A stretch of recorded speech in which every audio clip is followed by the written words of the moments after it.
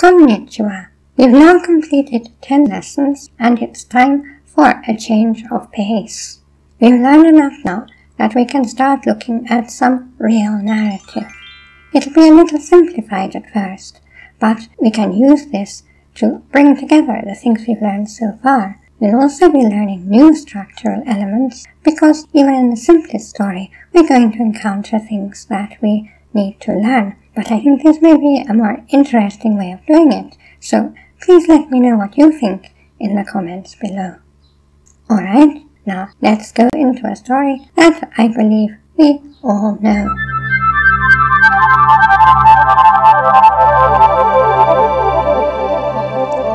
Aruhi, Arisu wa kawa no soba ni ita. Now this is a simple sentence. The word kawa means river and soba means beside and it's a noun. So kawa no soba is the beside of the river. Just as we put something on the on of the table or the under of the table, and we also always mark it with ni. So the beside of the river is where Aris was. Aru means a certain. So Aruhi is like one day or a certain day. And let's notice that what's happening here is what we've seen before. Aru is the verb that means exist or be. And what we've done here is what we've seen in the video lesson on so-called adjectives. We can make any engine into an adjective. So aru is an A does be engine, an U engine. So if we say hon ga aru, we're saying there is a book. A book exists. And if we move that aru engine to the other side of the book, we turn it white and it becomes a descriptor, an adjectival. So we're saying aruhon, an existing book, a certain book, a book that there is. And it's the same aruhi, a certain day. Aruhi, arisu wa kawa ni ita. Now the next sentence is going to be a little bit more complex, but don't worry, it's always easy when there's a fully functioning android to help you. Actually, I'm not quite fully functioning, but for the purposes of showing you Japanese, I am. お姉ちゃんはつまらない本を読んでいて遊んでくれなかった。So we've got quite a complex sentence here and let's break it down. Onee-chan means big sister. Ne is sister. Chan, I'm sure you know, is a cute, friendly honorific. O is also an honorific. So Onee-chan, big sister. Tsumaranai means dull or boring. Hon, as we know, is book. Yomu means read. Yonde iru, we put the yomu into the te form and add iru, and that means is reading. And then we're putting the iru itself into the te form. So why are we doing all that? Let's take a look. お姉ちゃんはつまらない本を読んでいて Big sister is reading a boring book. But then that te, te form has a lot of different uses. In this case, if we complete a clause, Big Sister is reading a boring book, that's a complete clause, isn't it? And if we turn that final u engine into the te form, what we're saying is that something else is going to follow this clause. We are indicating that we're making a complex sentence made up of more than one clause. So it's like saying, Big Sister was reading a boring book and, and then something else comes. Asonde kurenakatta. Asobu means to play, and that also is in the te form, isn't it? Asobu, asonde. If you're in any doubt of how we make these te forms, please go back to the video lesson on the te form and refresh your memory. Asonde kurenakatta. Now this is another use of the te form. Te form is terribly important and it does various different things. What's it doing here?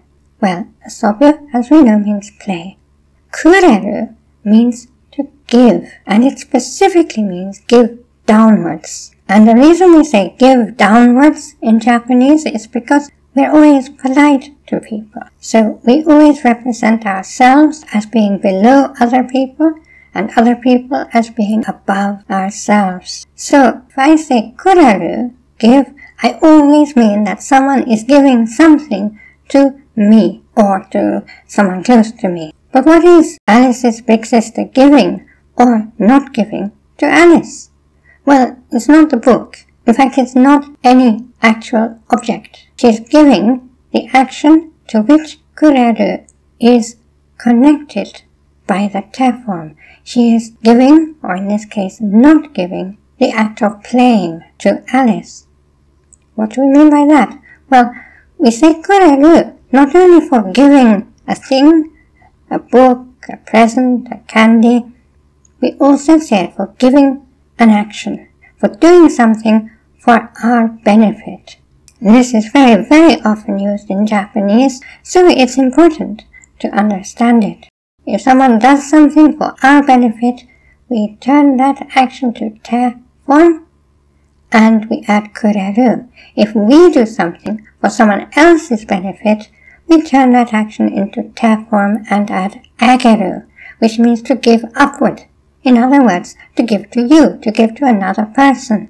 Right, so kureru and ageru give down to me or my group. Ageru give up to you or someone else or your group or their group. So, what is the second part of the sentence? It's Asonde kuranakatta. She didn't play. She didn't give Alice playing with. She didn't play for Alice's benefit. It's rather different from anything we find in English, but I think it's also very expressive, something we could actually do with having in English. So now let's look at the whole sentence again. お姉ちゃんはつまらない本を読んでいて、遊んでくれなかった。 Big Sister was reading a boring book and did not play with Alice. Notice that we have two complete clauses here. Onee-chan wa, tsumaranai or yonda. That's a complete clause in itself, isn't it? Onee-chan wa, a Sunday, kuranakatta. On did not play for Alice's benefit. And we've connected the two together with a te form. A thing we should notice here is that onee-chan wa tsumaranai hon wo yonde doesn't tell us the tense. We don't know whether she's reading a boring book right now, or in the future, or in the past. We don't know that until we get to the end of the sentence.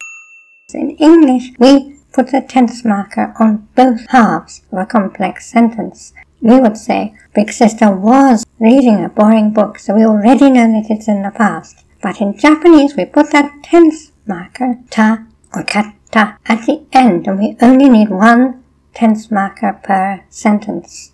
Yonde ite, Gutmin is reading, Gutmin was reading. But because asonde kurenakatta is in the past and is part of the same sentence, we have put everything into the past.